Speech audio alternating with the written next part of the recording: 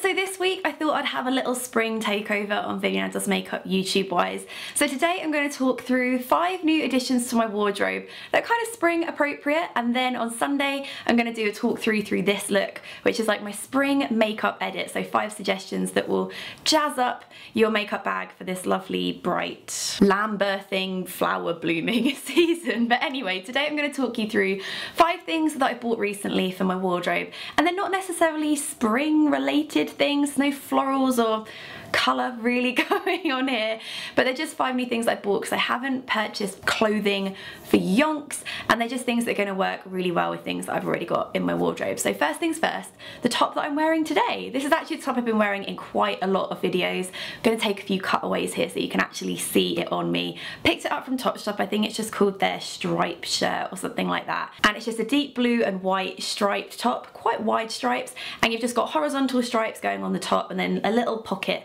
that has vertical stripes on. I think it's like a nice little touch there and it is so comfortable to wear. Not the easiest to iron. I ironed it this morning. I never normally iron. That's Mark's job. I do the washing and drying and he does the ironing.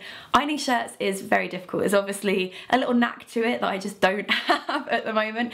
It does require a bit of an iron, which is a bit of a pain, but I just like how it's a shirt, so it's quite fitted and structured, but it's just quite slouchy in its appearance. It's fab for wearing at the weekends with just jeans. Some people could say it looks a bit like a pajama top, and I guess it does, and I'm really okay with that. but I just like that it's light and bright and it's not black like a lot of other tops in my wardrobe. And another top that isn't black. You see I've been, actually I don't think anything that I've bought is black. Well done. Pat self on the back. This is a top that you've probably seen in videos as well and I'm not sure if I wore it at a beauty chat. I may have. It's sort of my slightly fancier top and it's from a brand called Sandro. I went in there, bought this and it's just beautiful. It's like one of those really beautiful tops. When I wear it, I just feel like, oh, this is a little bit fancy. But it's just a white sleeveless top that's got this sheer panel down the middle. It doesn't go too low. I don't really have boobs anyway, so there's no cleavage or anything to show. And the sheer panel is also on the back and goes a little bit deeper at the back. But the good thing is, is that you can still wear a bra with this. That's good because the little V at the back doesn't go too low and it's just a nice length as well. Not too high, it's not cropped or anything like that. It sort of covers the top of your jeans or your leather trousers or whatever you're wearing below. I've gone from like one extreme to the other there with my pyjama top and then nice going out top. But to go with those tops, actually to go more with the top that I'm wearing now, I bought some boyfriend fit jeans. I've been meaning to buy boyfriend fit jeans for ages and I just keep putting it off. Number one, I hate buying jeans at the best of times, which is why I just buy my Topshop Leighs over and over again because I just hate trying them on and you pick up like 10 sizes and then none of them fit and it's just a real pain in the ass. So I don't like shopping for jeans anyway. And then boyfriend fit are quite hard to find in my experience because you don't want them to be really baggy, like 90s baggy, but you also don't want them too tight because then that defeats the whole point of having boyfriend fit. And so many people, every time I asked for boyfriend fit jean recommendations, so many people recommended the Levi's 501s.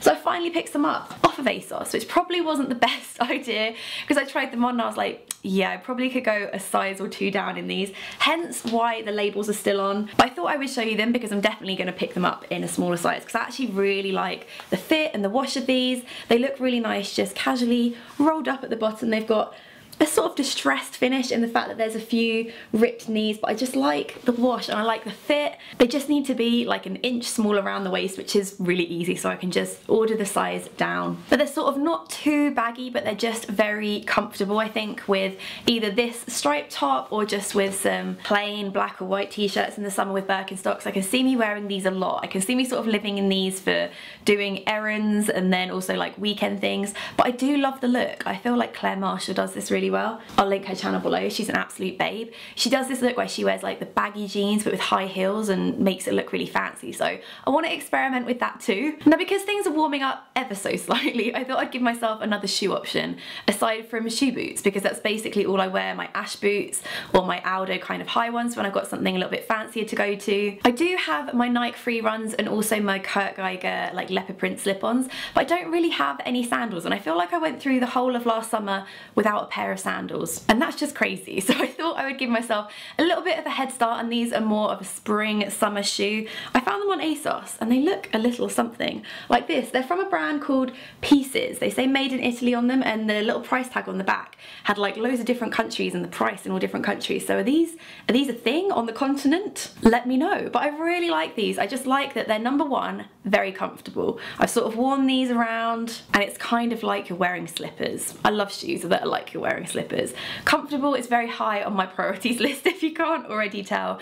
I like that they're also that brown like tanny leather. I think this is a really great colour of shoe to have because they sort of go with everything. And I like that they're very fuss free. You've just got like this straight over leather bit at the front. There's no sort of strappy bits. They're just like a very sophisticated, almost like upgrade from the Gladiator sandal which I've worn for years and years and years. So I really like these. They're almost like a Tom's mixed with a Gladiator sandal. I like that. Now the final thing I picked up as a little bit of a spring wardrobe update was a pair of sunglasses. Now I have my Ray-Ban Wayfarers, I also have a pair of the Clubmans I think. Mark tends to nick the Clubmans so I just basically wear the Wayfarers all the time. I picked them up probably like three years ago and they are always in my bags. I'm one of those people that really suffer in the sun. I think I've mentioned this before. I ruined many school photos by being in the back row and making a face like in the sun. Like I just don't deal well. If someone's like, oh, pose for a photo. If the sun is in my eyes, I'm like, at the side grimacing so I do get a lot of wear out of sunglasses and I saw these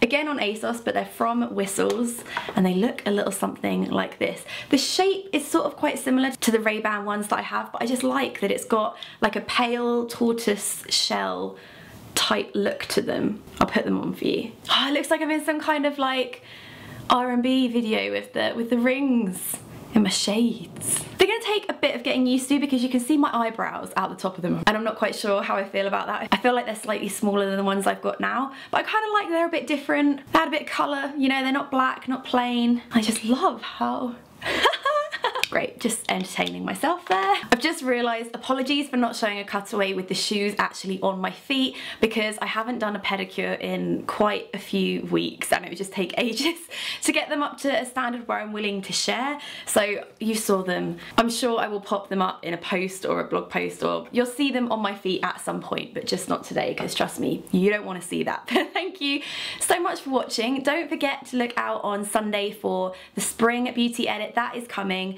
I hope you have a great week until then and I'll see you then. Bye!